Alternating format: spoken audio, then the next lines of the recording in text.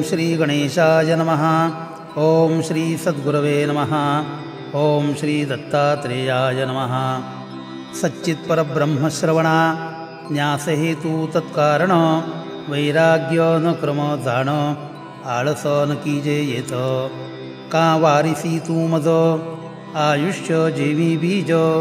क्षणभंगूर देह तुझ कळे सहज मृत्यू न की। येथ मानवांची काय कथा मृत्यू देवा खाय न ये गेलेले आयुष्य, न कळे काय केव्हा पडे।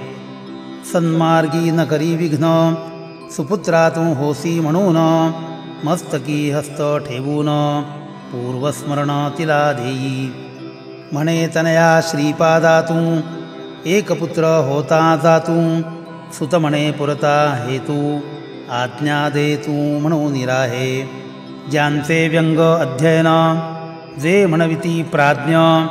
तेही त्यापाशी येऊन अध्ययन करीती नित्य। ती माय गर्भिणी झाली पुत्र दोन प्रसवली। त्या बाळे आज्ञा घेतली। वाट धरिली काशीची। तो सस्मित बोले तया, पुन्हा भेटे म्हणून या काशीमध्ये येवोनिया धरी धैर्या करी योग। महान गतस्मय जाणून न्यासमार्ग स्थापी म्हणून विप्रे प्रार्थिता तो प्राज्ञ स्वये संन्याशी होतसे. जो होता तेथे यती वृद्ध कृष्ण सरस्वती तया वरुणी गुरु होती नरसिंह सरस्वती. होऊन नर आपण गुरुचे गुरु असून रामकृष्णापरी जाण गुरु करून घेती गुरु स्थापोनी श्रौतधर्म फिरे सर्व तीर्थाश्रम माधवादे आश्रम वळे जन्मभूमीकडे।